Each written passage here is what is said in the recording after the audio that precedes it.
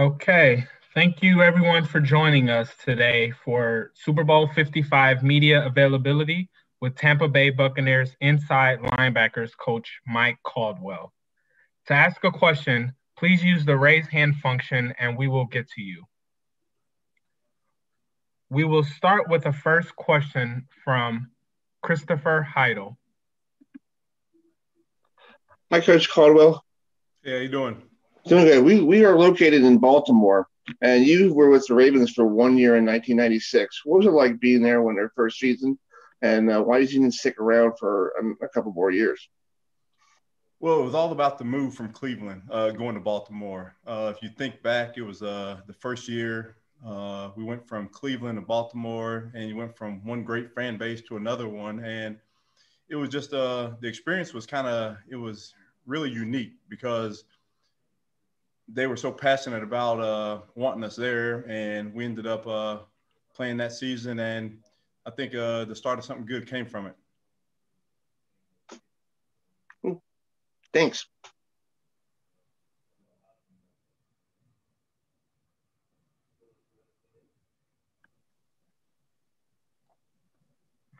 Thank you. The next question will be from Amie Just with the Times Picayune. Good morning. Um, asking about Devin. Uh, in what ways has Devin White, in your view, elevated his game from last season as a rookie to now? I think uh, with Devin, it's just become like a second hand to him. Uh, he came in as a rookie, and his talent was really on display. He was able to run around and make it by natural ability, but I think the mental part of his game has really improved. Uh, he can call out plays. He understands what offenses are trying to how they're trying to attack him, and he just really uh, helped out from a leadership standpoint as far as being out there, being a field general on defense, and being able to just lead the defense. Do you think that him getting thrown into that role early last season as a rookie helped him kind of get used to it now, a year later? I, I think it did help him, uh, but he's been a leader all his life. You know, if you know him, you know that as soon as you meet him, uh, his personality just pops at you. And he's a guy that guys will follow. I always tell him like, guys don't follow you because we we name you captain. Guys follow you because what you do daily and how you play on Sundays. Thank you. The next question will be from Robert Mays with The Athletic. Hey, Mike, appreciate it. Uh, I, I wanted to ask about Lavonte. I, I just it feels like at that position, it's rare for a guy to be as comfortable in space in coverage as he is moving forward as a blitzer, everything else. And he just seems to be so comfortable in both roles. Just his spatial awareness. What have you seen contribute to that? Whether it's preparation, just how calm he can be. How is that trait just different from other linebackers you've been around? I think with Lavonte, the thing that you first notice is the game is slow for him. He's played for a number of years, and when the game starts to slow down for players, it's two things: whether you're seeing things over and over or your preparation. And he has unbelievable preparation. He'll come in meetings early, asking questions. Coach, what do you think about this? Before we even watch the film. So his preparation is really key for him being able to go out there and make the plays that he's making. Can you think of an example of just something he came to you with during this season that's just like, man, did you see this?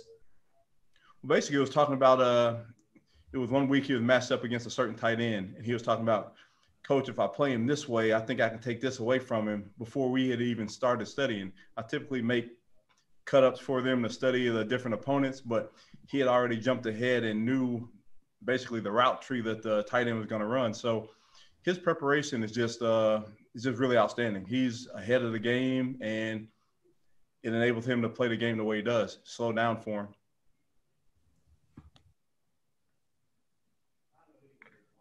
Thank you. The next question will be from Callum Cronin with Irish NFL Show.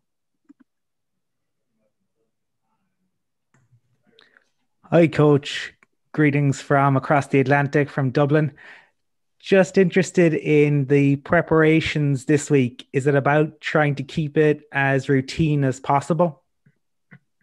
As always, uh, Coach Arians does a great job of just uh, letting us go out there and do what we've done. We have a routine that we do, and we just stick to that and really don't make any much more of it. Now we got a little more media obligations, but other than that, we pretty much just try to keep the same schedule, keep the guys on the same schedule, so uh, they can go out there and nothing really changes for them. Thank you. Thank you. The next question will be from Silas Homestage with TV3. Oh, sorry. Hi, Mike. Uh, appreciate um, yeah, and greeting from Denmark. And now we're really, really leaving America. Um, you have a very athletic uh, linebacking group, uh, especially with with Devin White. How important is that coming into a game with uh, with Mahomes as a mobile quarterback and as, as, as guys like Kelce as well? It's always good to have good players, and in my room I have uh, four good players: uh, Devin, Lavonte, Kevin, and Deone. So it's always good when, once you're going up against a high-powered offense that has weapons. You always want to be able to go out there and have your own uh, good players to play for you. Thank you. Appreciate it. Our next question will be from Ben Standig.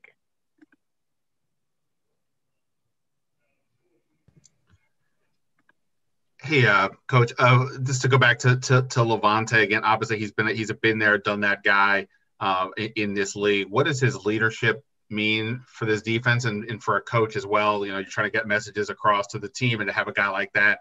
What what has he meant to you guys, especially during this uh, playoff run? Well, the thing about his leadership role, um, he's a guy that guys look to, and anytime leaders step up uh, in the times where they're needed there's been times throughout the season where things haven't been going well on the sideline, and he called the guys up, get them together, and he has a calming presence about him. He's not out there. He's not going to panic. He he has a calming presence that guys look to and they feed off of it. And when things aren't going well, he's a guy that we look to to get us out of a certain situation or come up with the play we need. And that's what he's been doing throughout his whole career, and he's continuing to do it.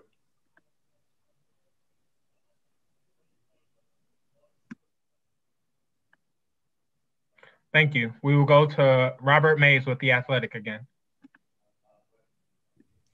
And Mike, and talking, having conversations about Lavonte, I think this applies to Devin as well. Uh, people have described him as an instinctive blitzer. And I'm wondering what you think goes into that. What do you think gives guys a certain feel for when to add on, how to avoid blocks? I mean, what eventually kind of plays into that instinctive feel for that exact kind of element of the game? First thing it comes uh, comes with it is ability. They're athletic guys. They have speed and they have toughness. They have physicalness. But then after that, they go and it's just not they're running after the quarterback. They have a breakdown weekly of how they're going to attack a lineman, how they're going to attack a running back. So the preparation again goes into them uh, having success on Sundays. They just don't go out there and they just attack the quarterback. There's a way. They have a plan and they've studied their plan, and it's uh, working for them. Can you think of an example of Lavonte just kind of having that really good approach for a certain running back or alignment this year, where it's just like, man, what we looked at this week showed up on Sunday? It's just uh, date back early on in the season. There's a a way that a running back was blocking. He was stepping up and he was stepping up pretty hard, and we ended up studying it, saw it on film, and throughout the week, we game plan that if he was going to do it this way, we were going to attack him this way, and end up working out. And I think he uh, got a sack out of it.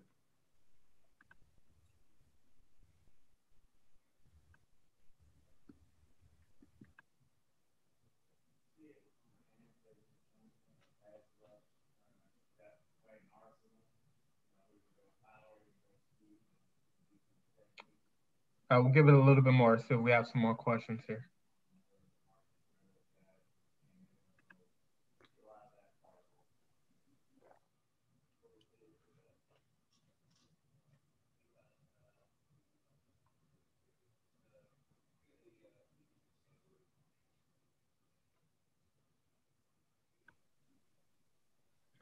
Okay, our next question we will go to Rob Maaddi with the AP. Hey, Mike, you played for Bill Belichick. You played for Andy Reid. You're coaching with Bruce Arians. What have you learned from playing for some of the greatest coaches in NFL history and now coaching with one? What has been, what sticks out in your mind? What are some of the things that you can take from each guy? The thing that really jumps out is how detailed they all are. Um, they leave no stone unturned uh, the preparation weekly. They go in, they do a great job of putting players in uh, the best position to make plays.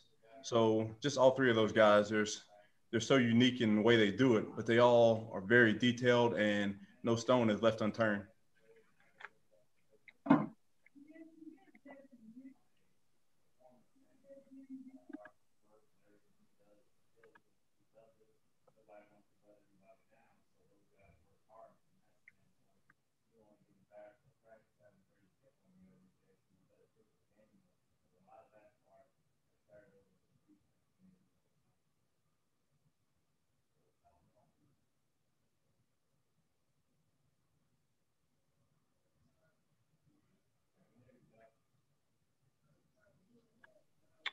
Okay, we're gonna go to uh, Rob with the AP one more time. Go Hey, Mike, again, uh, going back to the 01 season, if you remember what that was like, the Eagles stepped up and, and had a lot of success, and you're playing for Andy then. What at what point when you were with him did you realize that this guy he, he's got something special in him as a coach that uh, we could have never figured out two decades later that he'd eventually be a Hall of Fame coach. But what did you did you realize that at any point? Well, you you knew early. Uh, playing for playing as long as I played, you kind of understand when you get someone that's a little different. And Coach Reid came in and he the program was I guess organization was doing a good job of being a decent team but you can see early on that the team was headed in the right direction with uh, the different changes that he made. It was just the way he had a way of, like I said, letting players do what they do and do it well. I can remember him talking about offensive linemen that they're in a, a four by four box. They don't have to worry about getting outside that box. If you master that box, you'll be successful. Just different ways he was able to reach players and get them to play to their uh, utmost potential. Thank you.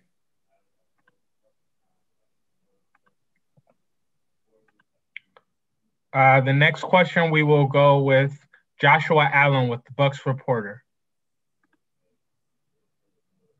Hey, Coach, how are you doing today? Hey, what's going on? Uh, so Lavonte David, obviously one of the longest tenured players uh, never been to the playoffs. Now he's in, on his way to the Super Bowl. Can you speak on the emotion that it's carried over to some of the other teammates as a Devin White or any of these guys that are really are trying to play um, for him as well? When, when you have a guy that's a leader and is as well respected as Lavonte is, guys do uh, want to get them where they've never gone before. Now, during the week, uh, early on in the season, we really were getting on him about not playing for so long and not being able to get to the playoffs.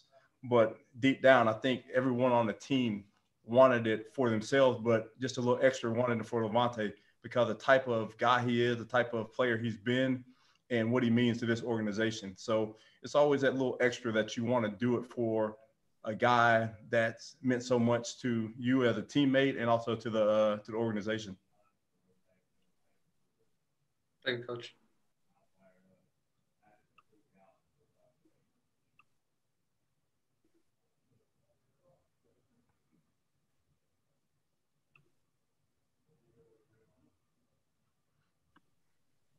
The next question will go with Ron Higgins.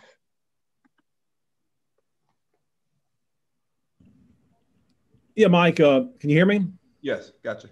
Yeah.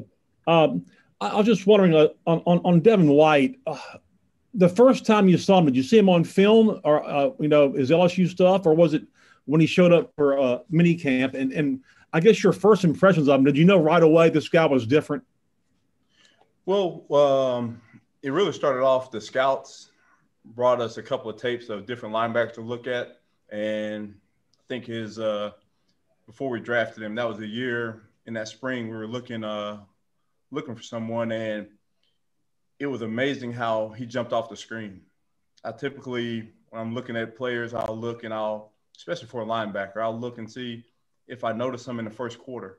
Well, the first two plays I noticed him, and it was really remarkable. And then I just kept studying and studying and found out that he's a guy that had the unique ability and went down, we visited, and found out that he was a guy, was a perfect fit for our organization. Uh, the leadership, change of culture, just uh, everything uh, about him was what we wanted, and we're happy to have him.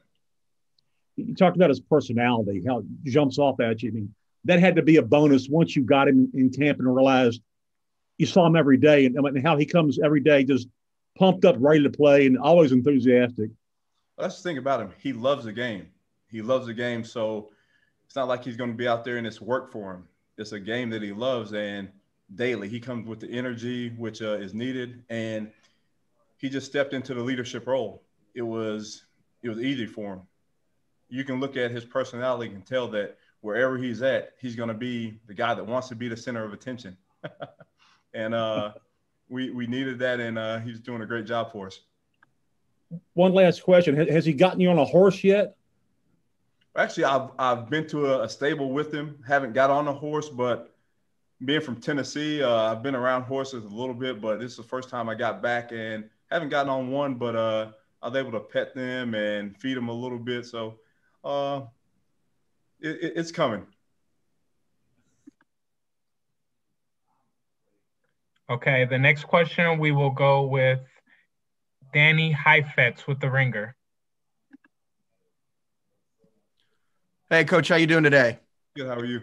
I'm I'm doing great. I like this whole Zoom thing. Question for you: Why is Travis Kelce hard to cover, and why do you think your linebackers are well suited to cover him? He's hard to cover because he's athletic and he's really smart. He's a tight end that knows how to play the game. You can sit there and you can say, well, this route's going to happen at this uh, distance. This route's going to happen at this distance. But he has the athletic ability to be able to get to his route depth and do it a, a different way. He's uh, smart and able to find uh, find holes, get away from the defense, and I think uh, the quarterback is comfortable with him. He's able to throw the ball. He'll throw him open when he is covered. He'll uh, put him in positions so he can go out there and make plays. But I think uh, our defense as a whole is going to take a really a, the whole unit to be able to try to limit his uh, catches and touches. The front will have to get a pressure on the quarterback. Um, linebackers will take a role and cover him along with the safeties and corners because he's not just a, a true tight end. He's a guy that can they split him out in space. So it'll be a bunch of people trying to get hands on him and cover him. Thank you, coach.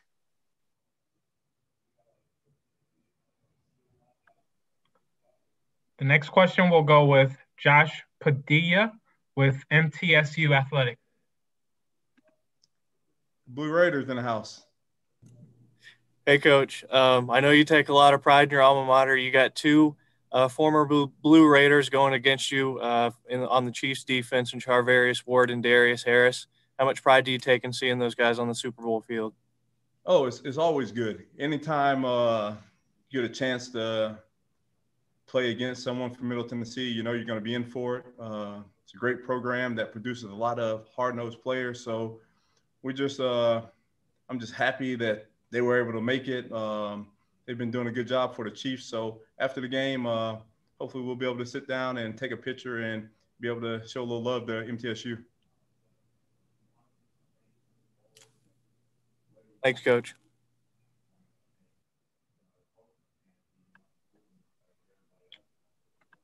We will go with Ben Standig.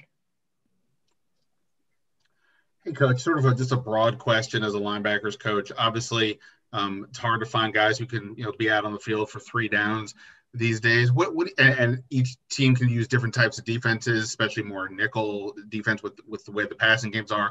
But what do you kind of see as sort of the, the key traits for for guys to be able to stay out on the field for, for three downs? What are things that you kind of look for, whether you're free agency or the draft, guys that you kind of gravitate towards to you um, for, for that type of situation? I think uh, athleticism is one. Just like you said, uh, the days of linebackers coming down and bloodying noses of offensive guards are that's no longer. You have to be able to play in space. You have to be able to move. So that's uh, one of the things I look for. And then intelligence. As a linebacker, you're pretty much going to be the quarterback of the defense. You're going to have to fit the run and also play in coverage. So you have to be well rounded and be able to do everything on the field. So you have to be smart, have to be athletic. Then uh, the toughness, uh, that's also a big trait. Thank you.